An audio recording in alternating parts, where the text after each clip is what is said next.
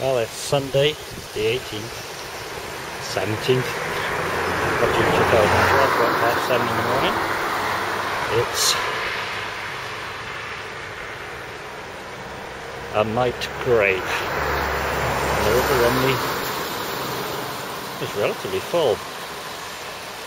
And it's uh, hashtag TSUN Tech Sunday. What will Microsoft do this week? And Caerphilly Castle again. One, and the world of geese. One, mile. Average pace, 50 minutes. 27 seconds per mile.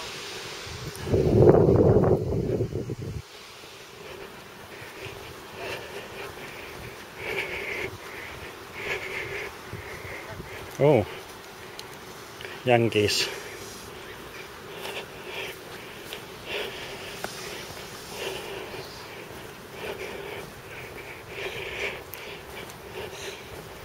And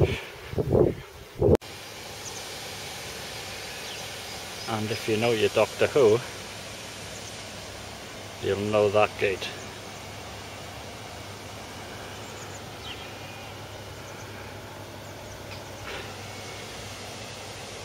Yeah, it's not particularly good weather for June. And after the castle, the Malcolm Uphill. Feeling like a full English alert. A cappuccino. And a bit from Brecon Brewing, which is the other side of Merthyr. And Brecon Beacons called Goal. It's nothing to do with the Euros. 4% alcohol by volume. And I'm desperately in need of a full English. Relatively desperately.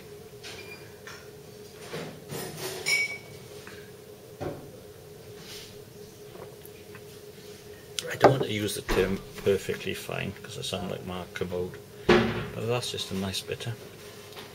It's a B plus, but it's not outstanding and it's not poor. It's the sort of thing you just drink. And I am.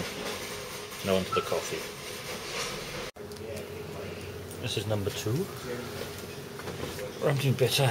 I can't remember what I gave it, but I like it. It's probably a B plus. I've ordered full English. I think it stopped raining. Happy Father's Day, everybody.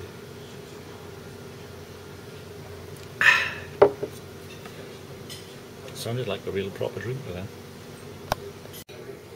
And number three, it's a cider. Because people complain I don't drink cider. Weston's Stowford Press, 4.8% mass market cidery thing. Here we go.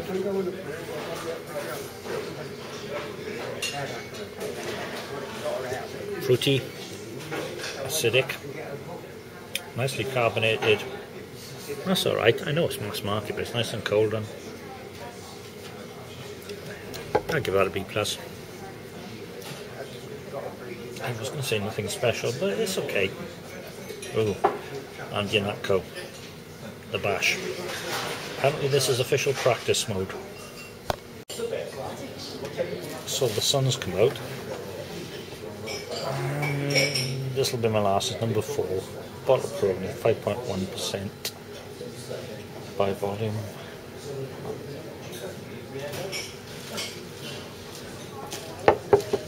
And it's alright. It's not a taste for them. It's a B plus.